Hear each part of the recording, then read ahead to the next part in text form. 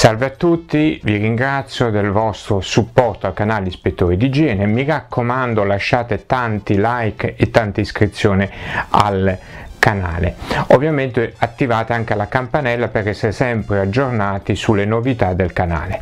Oggi un piccolo scoop, il direttore di Rai 2 ha comunicato che si eh, verrà realizzato il collegio 4.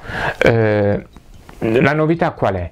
Che probabilmente sarà ambientato non negli anni 60, vi ricordate c'è stato il collegio 1 nel 1960, collegio 2 nel 1961 e poi siamo passati al 1968. Bene, addirittura l'intenzione è di essere ambientato il reality negli anni 30, gli anni del regime. Questo significa una rivoluzione completa sia degli insegnamenti, sia dell'educazione, sia anche per quanto riguarda le materie. Pensate che all'epoca, eh, quando vi era il regime, c'era anche la materia militare.